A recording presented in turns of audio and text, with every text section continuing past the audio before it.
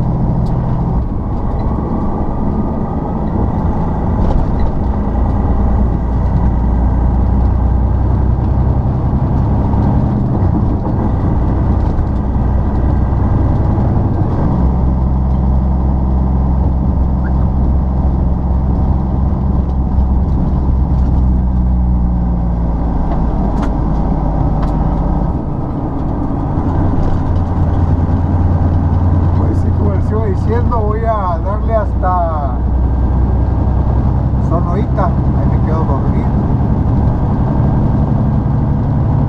En la noche se acostumbra mucho en la aduana San Emeterio a saturarse de camiones, no sé por qué.